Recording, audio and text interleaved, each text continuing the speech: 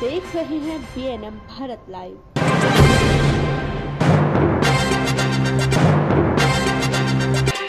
Bulandshahr state bank की mini bank शाखा से तीन लाख पैंसठ हज़ार की नकदी से भरा बैग हुआ चोरी। मिनी बैंक शाखा में कैश बैग चोरी की घटना सीसीटीवी में हुई कैद। अनुज गुप्ता ने चेक को कैश कर नकदी वाला बैग रखा था काउंटर पर।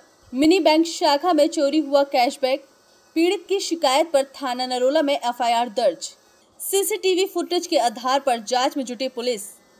बुलंदशहर के थाना नरोला क्षेत्र के रामघाट स्टेशन के पास मिनी बैंक शाखा का मामला।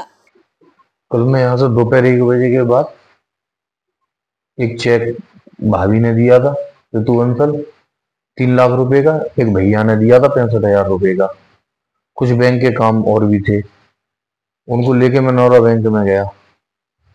वहाँ मैं पहुँचा तो थोड़ा लंच का टाइम हो गया था तो वो लोग लंच करने लगे। लंच के बाद मैंने चेक से दोनों पेमेंट निकाले। तीन लाख और पैंसठ हज़ार। वो पेमेंट निकाल के मैंने वहाँ बैंक में पीछे स्टाफ काउंटर पे रख दिए। उसके बाद मैं थोड़ा सा बैंक से संबंधित जो मैं कागज़ ले गया था, वो काम पूरा कर रहा था। जब मेरा काम पूरा हो गया, तब वहाँ से चलने को हुआ तो देखा मेरा जहाँ मैंने बैग रखा था, वहाँ मेरा बैग नहीं था। मैंने बैग को इधर उधर ढूंढा।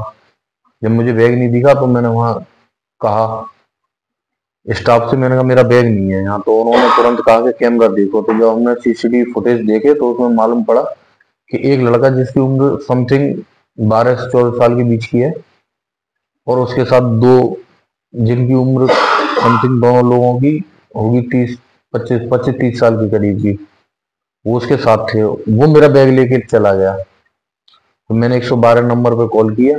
पुलिस को बताई। फिर वहाँ पुलिस आई 112 नंबर डायल किया था तो वो भी लोग आए थे।